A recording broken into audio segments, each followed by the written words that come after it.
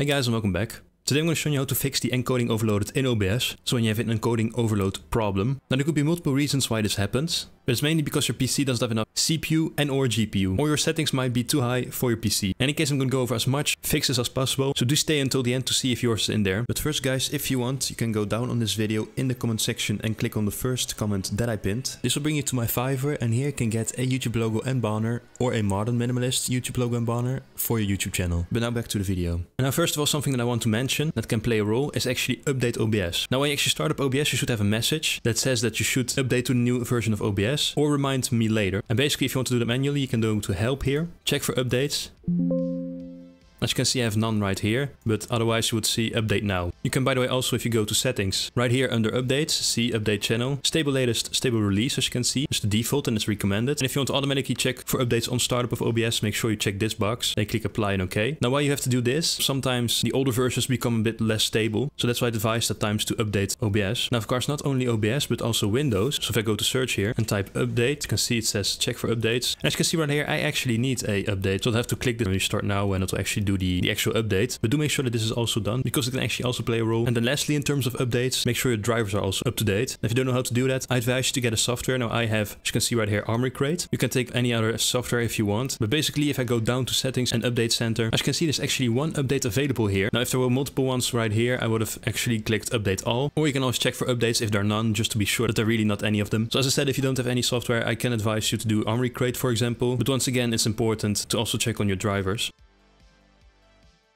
Then something else that is very important, if you actually go to, for example, your desktop icon here, click and right click on it, go to properties, advanced and then you can check here run as administrator. And then you can click OK. And in case you can also go to the compatibility tab here and go down to run as program as administrator. So that in the future if you're gonna actually launch up OBS it will actually automatically run as administrator which has been proven by the OBS team themselves that it actually increases performance as well. Very important to keep that one in mind. So you click this apply and then OK. And so if we're in OBS itself here the preview zone basically previews what you're currently recording or about to record. What you can do is right click it enable preview here. As you can see it's checked but if you click on it it's not checked anymore. Now I'm still recording recording, that's not a problem. I can just not see the preview anymore of what I'm recording right now. So you guys are obviously still seeing my recording right now, but I cannot preview myself what I'm doing. But this can actually help. It's actually gonna ask less effort for OBS, so actually it's gonna be a higher performance. I can minimize this and make this run in the background. It's a little detail, but it can help. And you can click here to enable it again, of course. And now we actually wanna go to the settings. We're gonna go over to the output tab here. I'm gonna go to the recording tab, but keep in mind, for streaming it's very similar. As you can see up here, make sure the output mode is on advanced type standard.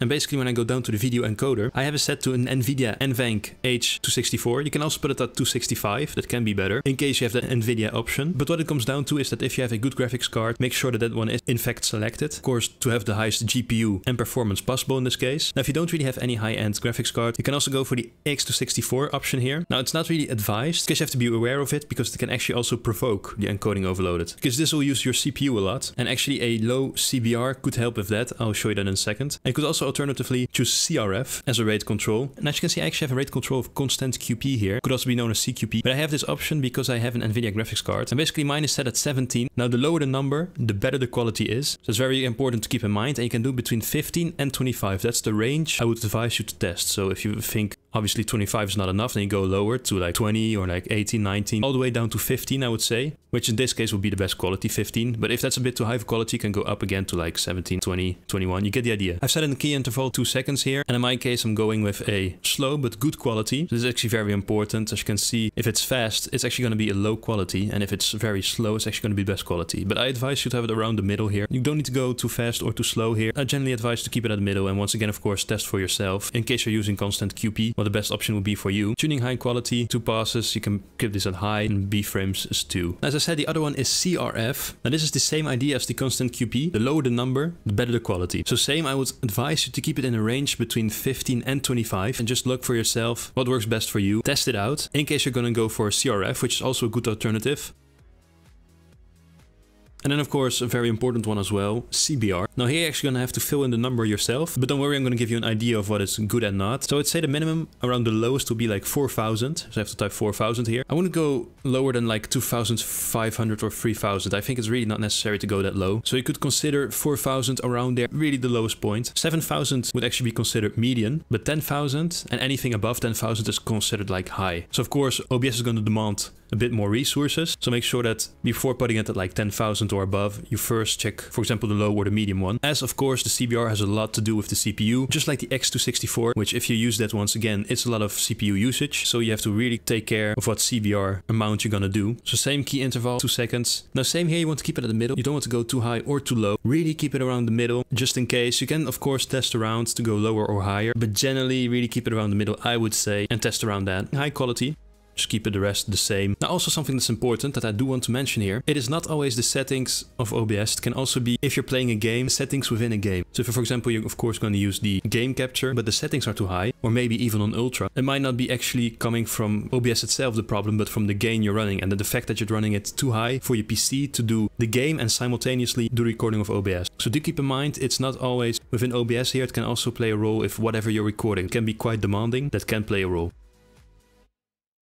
Now then as you can see we're in the video tab here. As you can see the canvas right here, I have 920 by 1080, aspect ratio of, of 16 by 9. Now the base canvas is your monitor resolution, so it's very important. You should just keep that the same as your monitor resolution. Now I have a 24 inch screen, which is 920 by 1080 pixels. So that's why I keep the base canvas the same. And you also should not touch it, whatever it is in your case, and leave it at that. But then the output scaled resolution you can actually change. You can put this lower, to, for example 1280 by 720, or put it all the way up to 4K. This is of course entirely up to you, if you feel like your PC can handle that. But make sure that of course, in case you can change change the output scale resolution here, put it maybe a bit lower if you feel like you need to, or higher if you're confident it doesn't affect anything. The downscale filters, I don't see them because I'm having my NVIDIA graphics card, but if you're for example doing X264, you'll be able to see some downscale filters here. Same, I think it wouldn't really affect anything too much, but you could test it out, see between different filters which one can actually maybe affect your recordings in a way. In FPS, I do think you can just keep that at 60 FPS. There might be cases where you can go down to 30 FPS, but nowadays you really should not have to. Especially if you lower the other settings, it's not going to be the FPS that's gonna mess everything up. So of course that's down to, down to 30 if you feel you need to, but in most cases you can leave this as 60. Now here you can see in the advanced tab, process priority, I've set it to above normal here, you can set it to high as well. It should be on normal for you, but if you put it on above normal and then high, this actually helps a lot with the process priority to actually give a priority to OBS itself within OBS. And so the higher you put this, well the higher the priority is going to be of your recording as well. So that's an important one. You can also do show active output, outputs warning on exit. You can also check that one, can be useful. And here in video, really nothing to change. This is probably going to be Direct 3D11 for you as well. NV12 here you can set it to as color format. Color space I do advise to use Rec 709 and the color range limited, otherwise recording can get pretty dark and you don't want that.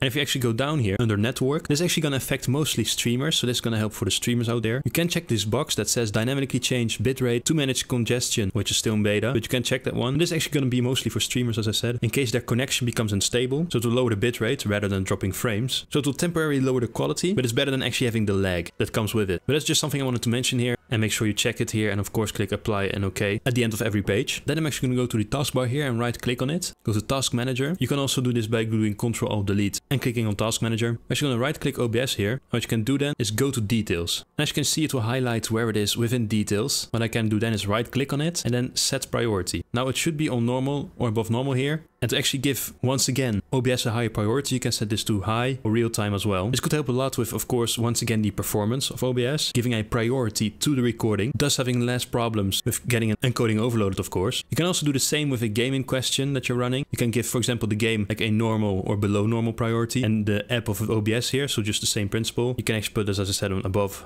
high, or real time. So that's also a very important step that could help and keep that in mind as well. And if you click this once, it will actually remember it for the next time you launch up OBS. So that's also very helpful.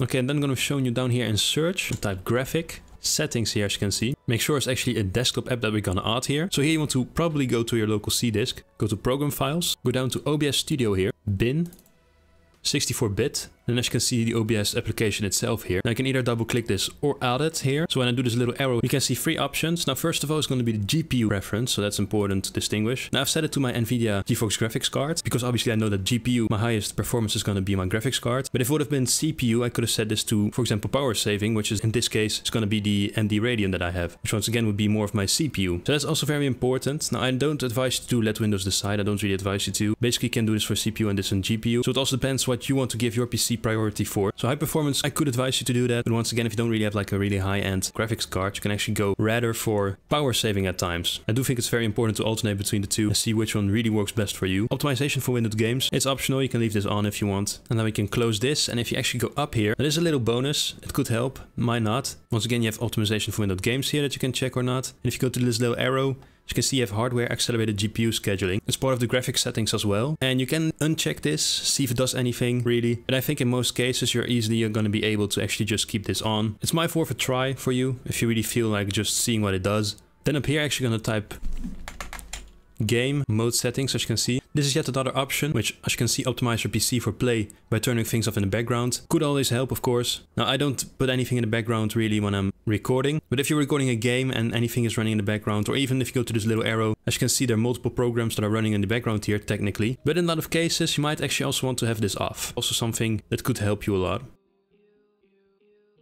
What you can also do then is, for example, if you go to search, what you can also do then is, for example, if you go to search, I'm going to type disk cleanup as you can see right here. You can see it will load. this little window right here. Now here you can check whatever files you think aren't really necessary and check them right here. Make sure you know what you're deleting. That's very important. And when you have selected everything that you wanted, so only useless things obviously, you can go ahead and click clean up system files. It will actually run as administrator, so you just say yes, and it will delete files. But once again, make sure you delete the right things and nothing important. As you can see, if I do it right now, I would gain approximately one gigabyte of space. So it's not really that bad, but it's also not like a lot or anything like that. And you can click OK here. I do advise you after that step to actually go ahead and restart your PC. Now being back here in OBS, I can actually go to help here, log files, view current log here. And as you can see, it's going to give you some info here. Don't worry, it's very basic information about your current recording. And what's interesting, as you can see right here, it says the source desktop audio is lagging over 500,000 ms approximately at max audio buffering. So it can give you also some insight. But basically, if you want to keep this, click on open file. And as you can see right here, it will actually give you a note block and it will actually give you, if needed, some information. So as you can see, for example, my CPU information here, that's the name of my CPU. Some other features that are on or off. So it's quite an important log. So what you can do then is do file and save as if you want to keep this in case and save it somewhere on your computer. But otherwise you can close this and just click clear right here and it will clear your entire log, helping the performance as well of OBS. But that's already a more advanced option. That's if you're really trying new things at this point. Once again, it's something you have to check out for yourself. I would do, of course, the previous steps first before getting to this point. But keep in mind that this is an option as well. You can close this. I kind of already mentioned it earlier. Make sure that if you're recording, of course, of OBS, make sure that only OBS is running and the game in question or anything else that you are recording. Because anything else would really just be useless and taking over some CPU or GPU in the background, slowing down your recording. So something simple I wanted to mention here, but of course very important to keep in mind. So I'm actually going to go into something more hardware related. So